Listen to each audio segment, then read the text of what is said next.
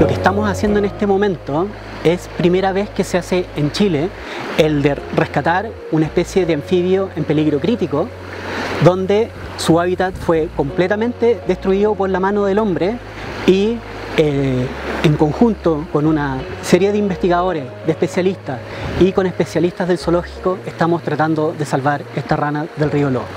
El problema es que todo el grupo de los telmatobios, que son los anfibios altoandinos que viven en el extremo norte de nuestro país, están igualmente amenazados que la especie del río Loa. Nosotros llevamos eh, desde el 2013 haciendo un estudio, un monitoreo permanente en este lugar.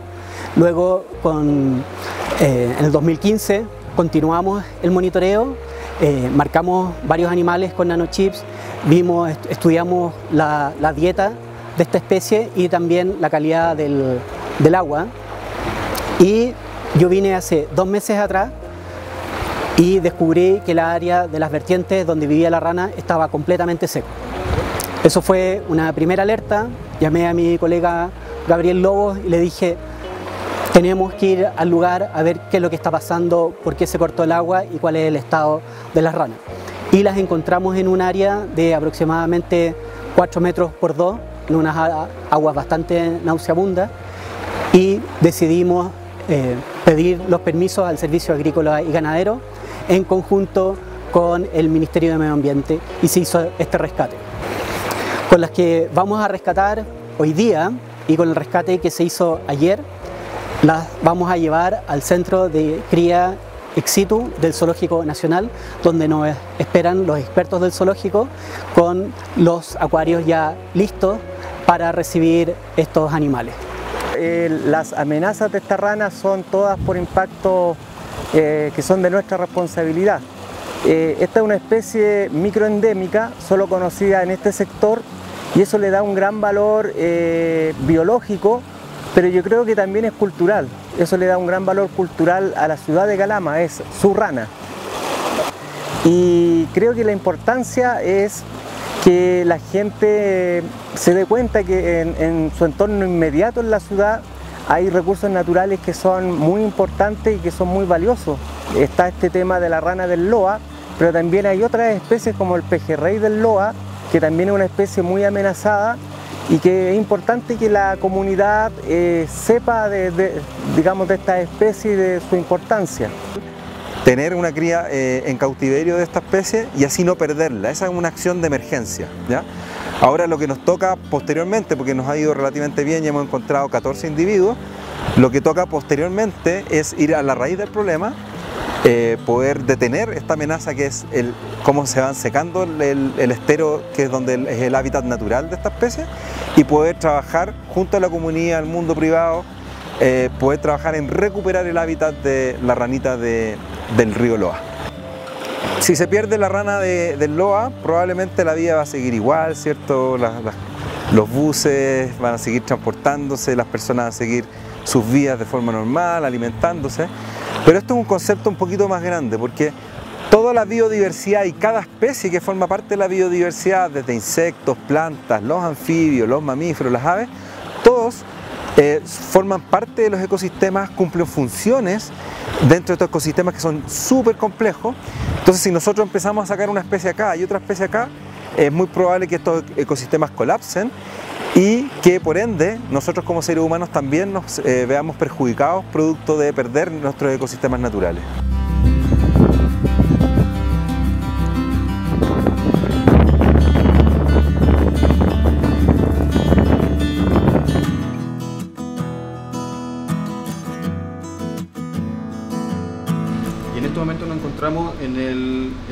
Donde estamos desarrollando los proyectos de conservación de anfibio nativo.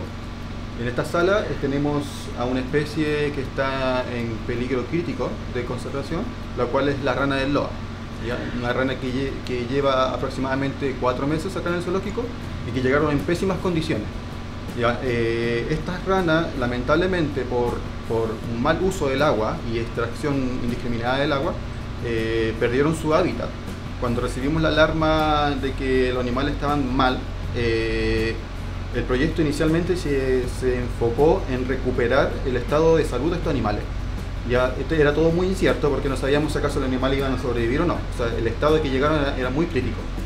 Por lo tanto, eh, una vez que pasáramos esa etapa de que los animales se pudieran salvar de este estado crítico, eh, el proyecto se está enfocando principalmente ahora en la parte de reproducción y conservación de la especie. Es decir, vamos a empezar a trabajar en la reproducción en cautiverio, donde la idea futura es poder liberar estos animales o las crías de estos animales. Pero a la vez, en paralelo, estamos trabajando eh, con investigadores que evalúan el estado del ambiente donde se encuentra esta especie. Y entonces están viendo si se recuperó el agua, si se recuperó las condiciones ambientales y que no, no, presente ningún otro problema de, que, ponga en riesgo la vida de esta especie. es decir, todos los ejemplares llegaron al zoológico llegaron con desnutrición, con problemas de deshidratación y también eh, con pérdida de la piel, principalmente por, problemas de, deshidratación y de, que el ambiente se estaba secando. Entonces, una vez que llegaron acá los ejemplares, empezamos a trabajar con, eh, con un eh, tratamiento nutricional, donde empezamos a ofrecer una dieta de forma asistida, calculando su, requerimiento energético de cada uno, de los individuos y después de esto, después de aproximadamente dos, dos meses y medio, empezamos a hacer las pruebas de consumo de dieta, donde empezamos a estimular a los ejemplares, a cada uno, para que puedan comer por sí solos. Afortunadamente, muchos de los ejemplares, es decir, todos los ejemplares que llegaron, eh, se recuperaron, ya recuperaron condición corporal, recuperaron la, eh, la, piel que habían perdido y también la hidratación. Y en estos momentos están todos cursando en la segunda etapa donde los animales están comiendo por sí solos. Ya después de aproximadamente un mes, mes y medio más de que nos aseguremos que los animales coman solos, vamos a pasar a la tercera etapa que ya los animales van a empezar a trabajar, vamos a empezar a trabajar para que se puedan reproducir en sí.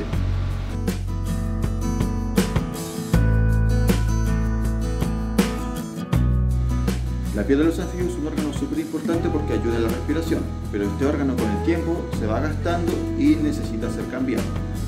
Lo que vemos en el video es como nuestro amigo blanco se está sacando la piel y también se la está comiendo. Este proceso se llama queratofagia y es un proceso normal que ocurre cada cierto tiempo.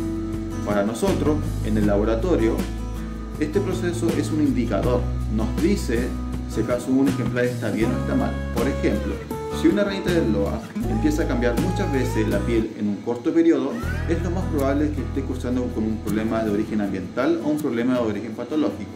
De esta forma es como nuestros animalitos, nuestras ranitas están comunicando con nosotros y nos dicen si las cosas van bien o las cosas van mal.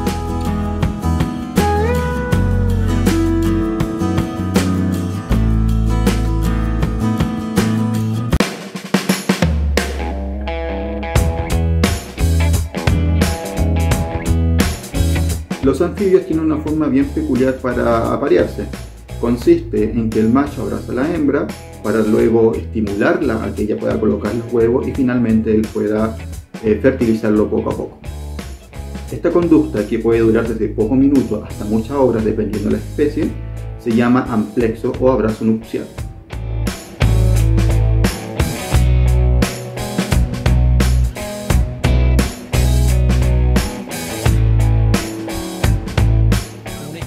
Han calificado en el Zoológico Nacional la obtención de huevos y renacuajos de las últimas dos serranas del Loa que fueron rescatadas para evitar su extinción.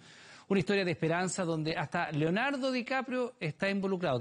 Hoy tenemos la tremenda noticia de este hecho histórico, es que tenemos ya renacuajos de ranita del Loa en extremo peligro de extinción han sido preservadas en el Zoológico de Santiago con un éxito que entusiasma. Tuvimos alrededor de 200 huevos, esos 12 animales sin reproducción no podríamos haber salvaguardado la especie. Un camino que partió a mediados del año pasado cuando las condiciones de sequía advirtieron sobre muy malas perspectivas para estos especímenes una especie que se estaba empezando a estudiar, eh, Gabriel Lobos, que un colega la había estudiado, y eh, él había contabilizado que en ese lugar habían 600 individuos.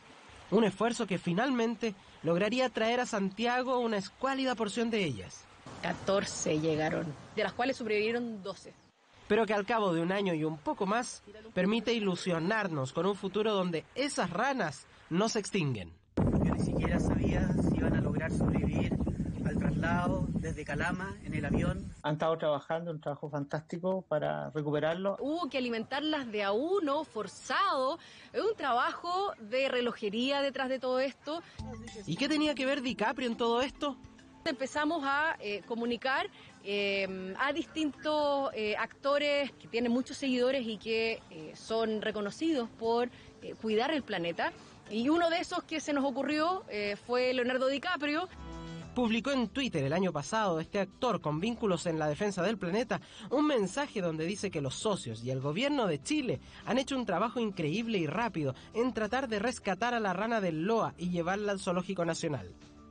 Prontamente, ojalá Leonardo DiCaprio eh, pueda eh, informarle también al mundo a través de sus millones de seguidores.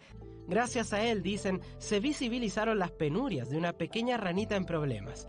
Pero el trabajo de especialistas en Chile es lo que finalmente les mantiene resistiendo son nuestros hermanos y nosotros tenemos la, responsabilidad moral de hacernos cargo de ellos también. Se estudiará más adelante cuándo sea factible repoblar el Loa con sus ranitas. Hasta entonces, reproducción y crianza continuarán en el Zoológico Nacional.